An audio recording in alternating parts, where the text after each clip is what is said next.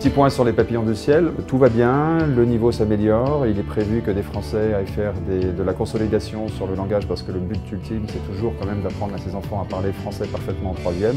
même si le projet d'établissement euh, les invite à pousser, à réussir leur baccalauréat. Et si c'est le cas, euh, la Fondation leur financera leurs études, qu'elles soient euh, à Madagascar ou en France.